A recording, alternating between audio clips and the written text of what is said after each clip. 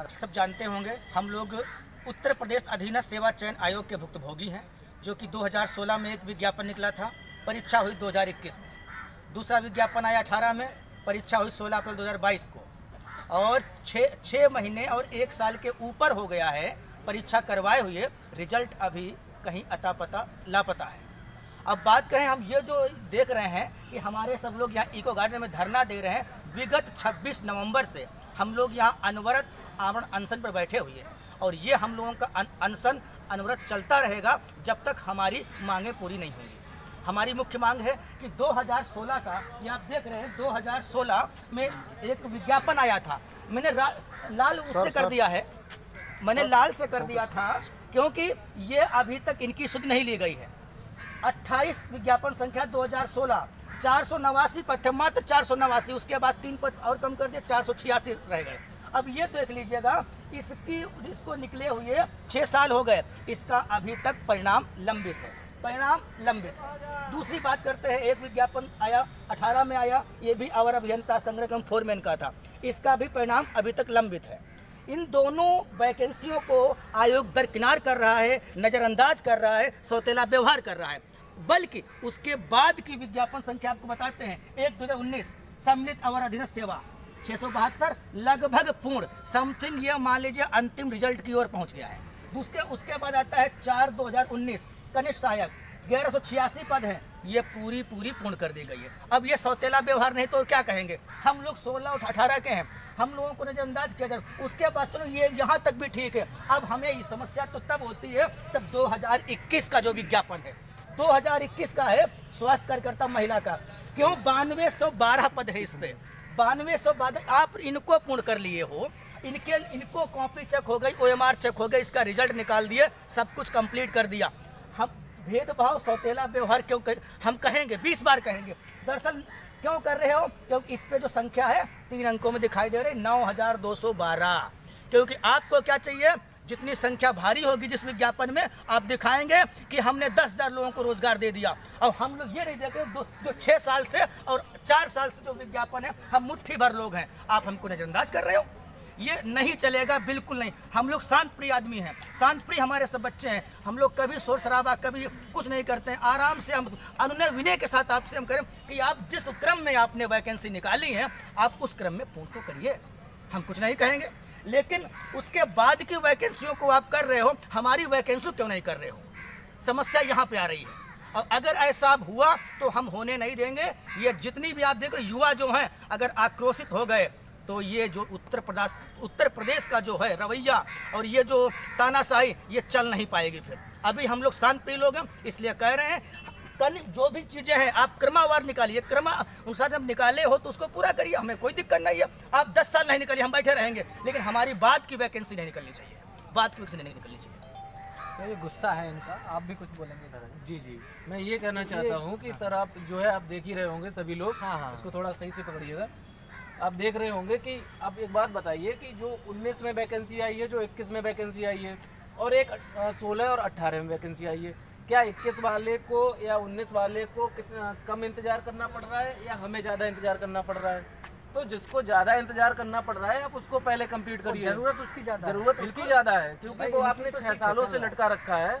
उसको आपने छह सालों इसको छह साल हो गए इसको चार साल हो गए लेकिन ये जो बाद की वैकेंसी है इनको आप जो है पहले से भर रहे हैं। एक एक चीज़ बता दो आप लोग जैसे इसके थ्रू कहाँ कहाँ जाते हैं वहाँ पर क्या जिम्मेदारियाँ रहती हैं? मैं जो है मैं इसके लिए हम लोग कहीं नहीं जा सकते इसके लिए हम लोग अधीन सेवा चयन आयोग जा सकते हैं। वहाँ पर हम लोग हमेशा जाते हैं अपनी बात कहते हैं लेकिन वहाँ पर हमें या तो वहाँ से भगा दिया जाता है पुलिस फोर्स बुला ली जाती है वहाँ से हमें और वहाँ से हमें धक्के मार के भगा दिया जाता है और हमें बता दिया जाता है कि आपका जो है एक तसल्ली देने के लिए आपका दो महीने बाद आएगा। और दो दो महीने करके हमारी पूरी साल खा गए हैं। और बताइए एक साल खा गए हैं अभी हमारा पहला परिणाम आएगा। मान के चलिए अभी दो तीन महीने में ये हमें परिणाम दे देंगे तो हमारा पहला परिणाम आएगा। फिर जो है चार दो तीन महीने में जो है हमारा डीवी करवाएँगे। फिर दो तीन महीने में जो है हमारा मेन रिज़ल्ट आएगा। कब ज्वाइनिंग होगी कब क्या होगा मर जाए जिए क्या करें ये बताइए। चौबीस पच्चीस हम जो है अट्ठाईस उनतीस साल के कोई उनतीस साल का हो कोई पैंतीस साल का हो रहा है। क्या मतलब है साला? ज़िंदगी है कि नरक बना रखा है? तो क्या घर वाले आपको बोलते होंगे कि बेटा बहुत पैसा लगा दिया पढ़ाई कराने में? अब सर, अब बोलेंगे क्या? जब ये यहाँ तक हम लोग 2016 के पास आउट हुए। पहली बात तो ये एग्ज़ाम छः साल बाद कराए तो जब तक पढ़ रहे थे तब तक पैसे मिल रहे थे, और जब ये पता चल गया कि हाँ इसमें हो जाएगा तो हमने पढ़ना बंद कर दिया। वो भी दो महीने वेट किए कि अब रिज़ल्ट आएगा। जब लगा कि रिज़ल्ट नहीं है तो उन्होंने पैसा देना बंद कर दिया। हम लोगों के यहाँ से आने का डेली रूम पर साठ रुपये का किराया है। रूम पे जाने का पैसे ही नहीं बचते। पैसे ख़त्म, इसलिए पर्स रखना बंद कर दिए हैं। चालीस रुपया बच्चा डेली आते जाते हैं उसी में। अब कहाँ से पैसे मिलेंगे, सर? ये सच्चाई नहीं है, ये कोई कौतूहल का विषय नहीं है। ये जो बोल रहे हैं, ये बिल्कुल जो लोग एजुकेशन में होंगे, जो सेक्टर में पढ़ाई करते हैं, उनकी स्थिति इन्हें पता होगी। तो आगे अब कब तक ऐसे बैठे रहेंगे? अब जब जब तक हमारा रिज़ल्ट नहीं जारी हो जाता, तब तक हम यहीं बैठे रहेंगे, क्योंकि बिना रिज़ल्ट लिए तो हम यहाँ से हटने वाले नहीं हैं। इतना आठ साल हम लोगों ने छः साल इंतज़ार किया, अब आगे एक भी दिन नहीं करेंगे। अब हमारा जब तक बात नहीं सुनी जाएगी, तब तक यहीं बैठे रहेंगे। कल हमारे यहाँ पे इको गार्डन में प्रदेश के प्रत्येक जिलों से छात्र आ रहे हैं, जो कि इस एग्ज़ाम में पार्टिसिपेट किए हैं और यहाँ पे हम लोग इसके बाद यहाँ से सीएम आवास की तरफ़ कूच करेंगे। इनकी काबिलियत कितनी है इससे तो आप अंदाज़ा ये लगा सकते हैं जहाँ पर ये खड़े हैं। ये स्ट्रक्चर आप देखेंगे इतना विशाल ये बनाया गया है कहीं ना कहीं सिविल इंजीनियरिंग की ही देन है। जी बिल्कुल। आज यहाँ पर लाखों लोग यहाँ पर धरने देते हैं पर डे आकर के दस हज़ार बीस हज़ार लोग रहते हैं। तो क्या आपने इतना अच्छा काम करते हैं? सिविल का ही क्षेत्र है। जी। तो सिविल इंजीनियरों को आज धरना देना पड़ेगा। जी ये देश का दुर्भाग्य ही कहूँगा मैं कि हम लोगों को यहाँ पर अनशन के लिए आना पड़ा है। अपनी मट्टी पर बैठे जी जी जी जी। बहुत सारे लोग बहुत इस स्थिति में हैं कि बहुत सारे लोग ओवरेज हो गए हैं। बहुत सारे लोग अपने परिवार से पीड़ित हैं इस चीज़ से। घर घर से कोई सपोर्ट मिल नहीं रहा है दर दर भटक रहे हैं। क्या करें सर हम इस स्थिति में? बहुत बुरा हाल हो गया है इतनी पढ़ाई करने के बावजूद तो यही सब चीज़ें हैं 2016 की वैकेंसी चार सौ नवासी पद इसमें लिखा है इस पर। परिणाम अभी लंबित है। और ये सब जो इन्होंने इसमें रिपोर्ट किया हुआ है सम्मिलित अवर अभियंता अधिनियम सेवा छः सौ बहत्तर लगभग पूर्ण हो चुकी है। एक एक बात मैं और कहना चाहूँगा कि अगर जो है हमारा ये कल का प्रोग्राम है ठीक है? कल हम सीएम आवास जाएँगे और जो है विधानसभा भी घेरने का प्लान है। आपको जाने नहीं दिया जाएगा वहाँ पकड़ ठीक है तो हम विधानसभा घेरने का प्लान है बाकी जो भी प्रशासन करेगा वो हम देख लेंगे। और नहीं हमें जाने देंगे तो हम यहाँ से भूख हड़ताल शुरू कर देंगे। ज़्यादा से ज़्यादा क्या होगा मर जाएँगे? और मरने जैसी ज़िंदगी बना रखी है नरक इसमें जीना है जी, जीना क्या है इसमें? ये कोई जीना है कि हम धरने बैठे हुए हैं घर वालों को पता नहीं है क्या ये जीना है क्या है ये? सरकार को देखना चाहिए इसमें जो है। हम यहाँ पर परेशान होकर बैठे हुए हैं। कोई सुन रहा है यहाँ पे हमारी बात? नरक बना के रखा हुआ है बिल्कुल जो है। तो ये डर है इन लोगों का। आते हैं प्रदेश के विभिन्न जिलों से आए हैं। अब कहाँ रुकते हैं क्या करते हैं क्या खाएँगे वो इनका अपना एक किसी प्रकार से जुटाते हैं चीज़ें। अब ये एक प्रकार का ऐसा पद है इन लोगों का। दस दिन हो गए यहाँ पर बैठे हुए। मेरे घर पे पता नहीं है मैं यहाँ पर हूँ। मैं झूठ बोल के बैठा हूँ कि घर पे क्या बोलूँगा? घर वाले मुझे जाने देंगे कि वहाँ पर मेरे ऊपर क्या होता है? मैं जी रहा हूँ मर रहा हूँ मेरे ऊपर मुकदमा हो रहा है क्या हो रहा है। ये दर्द है सर छुपा हुआ है बस दिखा नहीं जा- ये आज नज़र आ रहा है आपके सामने। ये सच्चाई दिखा रहा हूँ ये कोई वो नहीं है। ऐसा अब इनका कष्ट देखो जो बनावटी आँसू नहीं है ये आँसू नेचुरल हैं ये कहीं ना कहीं कष्ट है इनका। अब भाई इनके परिवार से तो मैं जुड़ा नहीं हूँ लेकिन इनके आँसू बता रहे हैं कि कहीं ना कहीं स्थिति बहुत विकट है इनके घर में। और ऐसे लोग अगर युवा वर्ग इस प्रकार से विचलित हो जाएगा तो उस देश का भविष्य क्या होगा? झूठ बोल के यहाँ पर दस दिन से टिका हुआ हूँ घर पे बोल दिया कि एग्ज़ाम है मैं पढ़ाई करने जा रहा हूँ ये पढ़ाई हो रही मेरी। डरने बैठना पड़ रहा है मुझे। अच्छा, आप लोगों को ताने भी मिलते हैं लोग कहते हैं अरे वो कुछ नहीं उतना लगे हैं। किसी का किसी के सामने नहीं आना चाहता हूँ इतने ताने मिलते हैं। ज़्यादा बात नहीं कर सकता मैं उनसे मैं समझ नहीं रहा हूँ बोला जाता है। इनका ये भावुक हो गए हैं।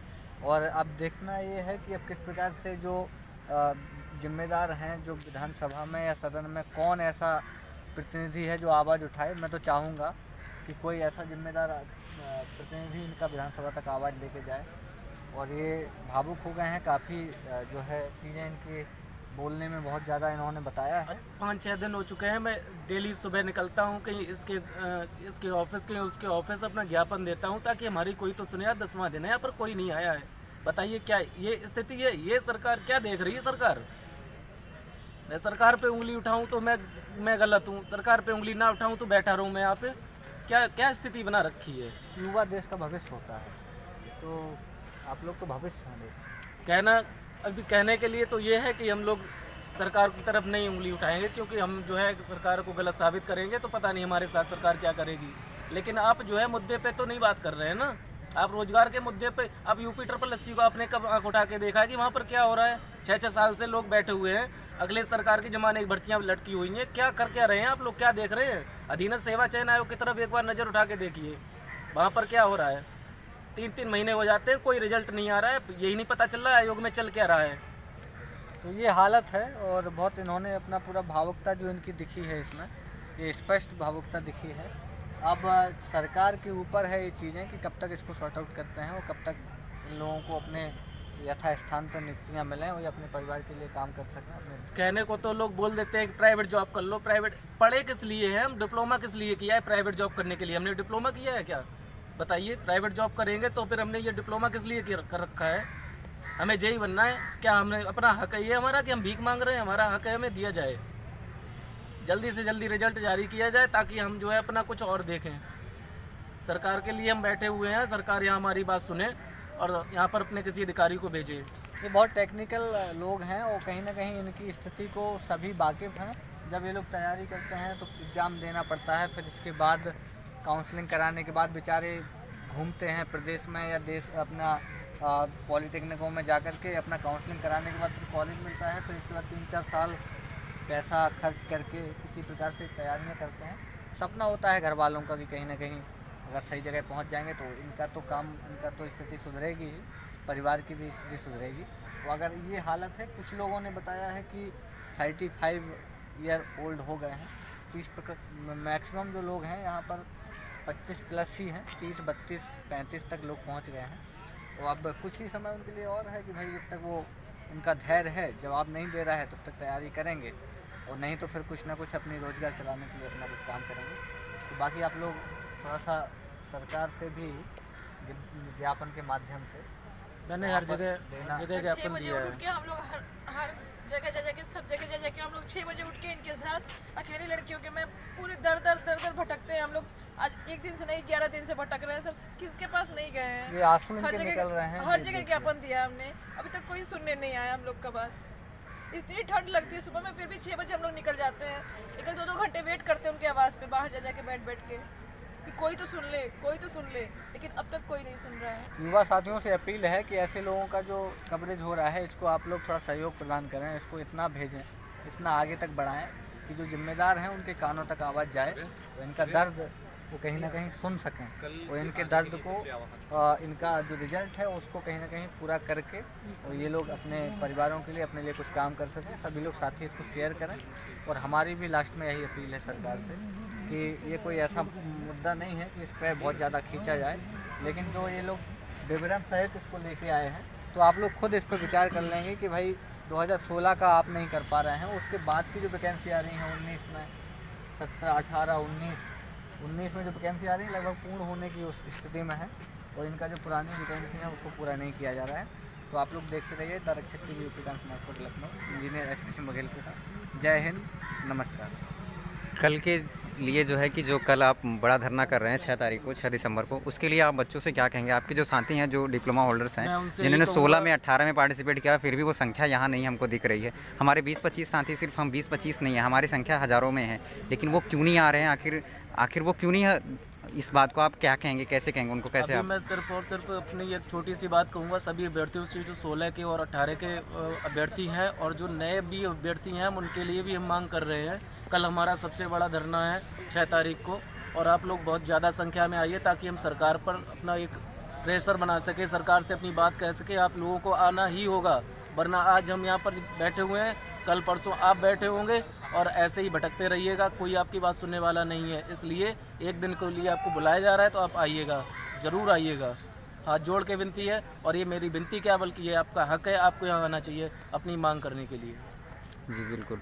और कल के लिए इन्होंने कहा कि जैसे कि आपको आना होगा, बिल्कुल आना होगा।